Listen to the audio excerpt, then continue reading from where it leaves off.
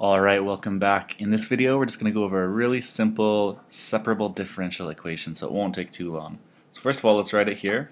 We have y squared dy minus 3x to the power of 5 dx is equal to 0.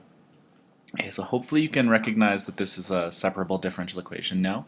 We have one term that's just a function of y with a dy on it, and we have another term that's just a function of x uh, with dx, and it's all equal to 0. So all we need to do is just bring this 3x uh, to the fifth over to the right hand side. So let's rewrite this again. We'll get y squared dy, so y, is equal to, now it will be positive 3x to the fifth dx. okay, so now all we need to do is just integrate both sides. We can simply integrate the left with respect to y and integrate the right with respect to x. So let's put in our integral signs. We have this one, and on the right hand side we can put the 3 on the outside because it's a constant. So we can go like that. Alright, so let's integrate the left side.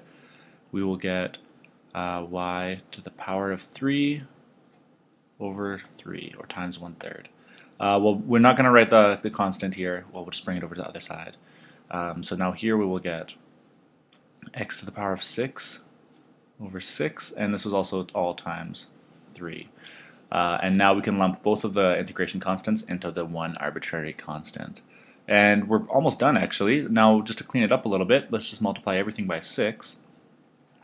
So we'll get 6 over 3 times y cubed is equal to 6 times 3 over 6 times x to the 6 plus 6 times c. But this c is an arbitrary constant. It could be any number. So 6 times any number is kind of meaningless. It's still just any number or still just an arbitrary number. So we'll just get rid of that in the next step.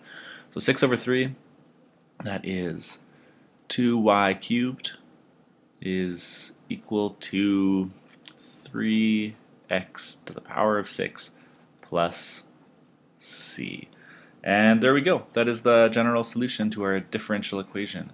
If we had initial value conditions, or initial conditions, we could uh, simply find the actual solution, but we didn't bother doing that. So anyways, just another video about separable differential equations, and join me in the next video, and we'll go over an example that's a little bit tougher. Alright, see you there.